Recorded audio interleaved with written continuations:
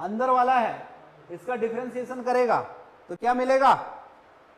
अंदर वाले का डिफ्रेंसिएशन करेगा तो क्या मिलेगा?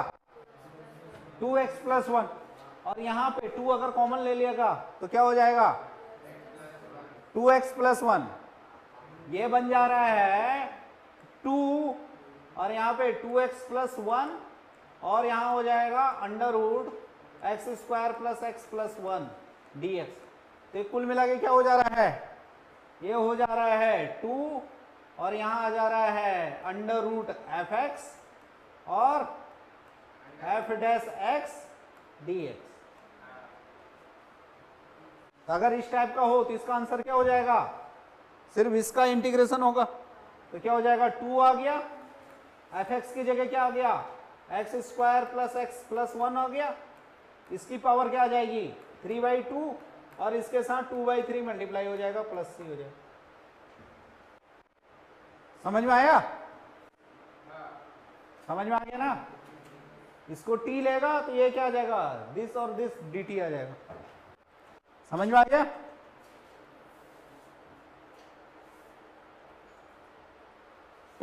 किस किस का नहीं बना था ये? एक, तुम्हारा बन गया था? तुम्हारा भी बन गया था?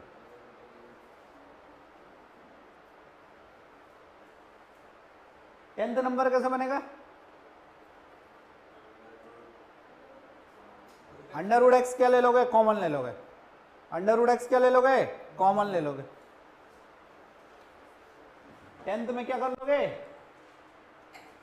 क्या आ जाएगा? D x upon under root x और यहाँ क्या बच जाएगा फिर? Under root x minus one और under root x minus one का डिफ्रेंसिएशन करोगे?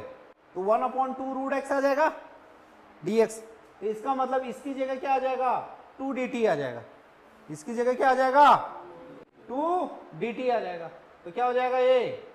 Two d t upon t हो जाएगा। Two d t upon t हो जाएगा। आ रहा समझ में? तो आंसर क्या आ जाएगा इसका? टू लॉग मॉड क्या है? Under root x minus one plus c. यही आंसर होगा? यही होगा ना? एलेवंथ में बन जाएगा। एक्स प्लस फोर को टी ले लोगे। ले लोगे? तो d x is equal two d t हो जाएगा। तो न्यूमिनेटर क्या आ जाएगा? T minus four upon under root t t minus four upon under root t फिर अल्टीमेटली क्या हो जाएगा ये? Under root t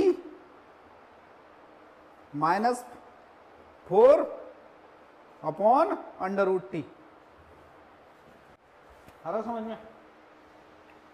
Under root t minus four upon under root t. पूरे को फिर टी के रिस्पेक्ट में इंटीग्रेट कर लेंगे। क्या है? X upon under root x plus four d x ये था? X प्लस फोर को क्या मान लो? T. तो dx क्या आ जाएगा?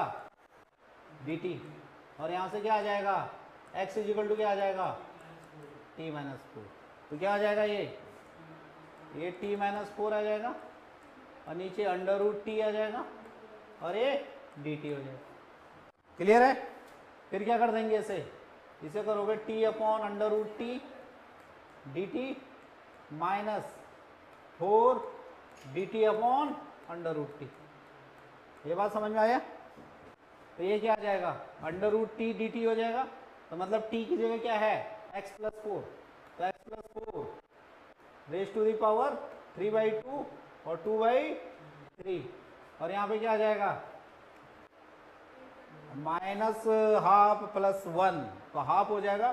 तो ये हो जाएगा under root x plus four और यहाँ पे टू आ जाएगा।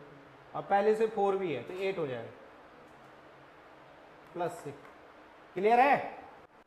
ये बात समझ में आ रहा है? इसको भी डायरेक्ट याद कर लो, सकते हो। जैसे अंडर रूट एक्स का डिफ्रेंसिएशन क्या होता है? One upon two root x तो वैसे ही d d x upon under root x का क्या होता है? Two under root x d x upon under root x का क्या होता है? Two under root x